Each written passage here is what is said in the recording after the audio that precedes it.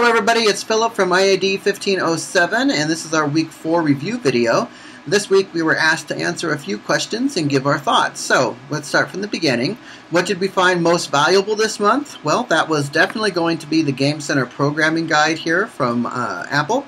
This covered pretty much everything that we wanted to know from leaderboards, achievements, the challenges, how to implement them, what they were for, how to use them, and the, the secondary checklists that were here were, were quite useful as well. But one of the things I wanted to challenge myself with was creating my own class for dealing with things. So I wanted to follow the paradigms that they laid out here and create my own class to handle them. So using that information coupled with the iOS SDK Game Center Achievement and Leaders Part 2 tutorial from Tuts Plus, I was able to create my own achievements class that ties off of the GK achievement and the GK Game Center stuff from GK Tapper. So I get to handle my own achievements in here. As I can see, I get to clarify them all.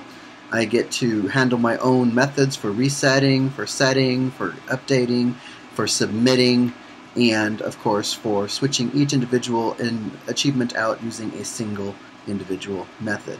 It was actually quite fun to do. If it wasn't for this documentation and part of this tutorial right here, it would have taken a lot longer to get done, but I wanted to get done.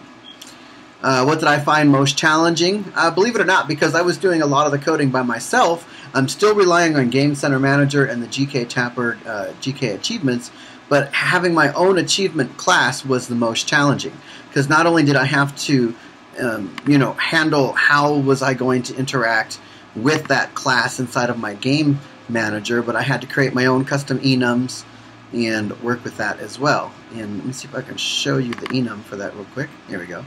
So I created my own custom enums that allowed me to keep track of all my counts and all of my achievement types so that I can pass individual achievement names and IDs through without having to hard code information into the application. That was a little tricky. It's it's it's a new type of assign property that you have to use, but you know it's fun. Um, what would you have done differently if you could? I would say I would have added some challenges in there. You know, I did create a few of the achievements as repetitive achievements, and I wanted to make it to where people could challenge their friends, like on kill count and stuff like that. But I never got a chance to get that into the application before it was due, so I would change that. Um, I would add probably a little bit more dynamism to the boss fights as well, and maybe have a few of the larger ships shoot back at you as you're traveling. But other than that, I really like the game the way it turned out. And of course, a few things that could use a little bit more clarification. You know, I like the documentation that we had in the class. I'm a little bit skeptical on the achievement um, requirement for the Week 4 project as well as the achievement uh, assignment project because it really didn't go into in-depth some examples of what types of achievements were. Like the measurement achievements and stuff like that didn't really apply to every type of a game out there.